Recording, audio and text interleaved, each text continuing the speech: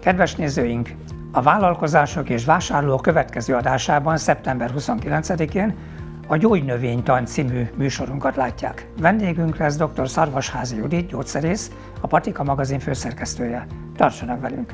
Várjuk kedves nézőinket csütörtökön 21 óra 5-kor itt a Fixen.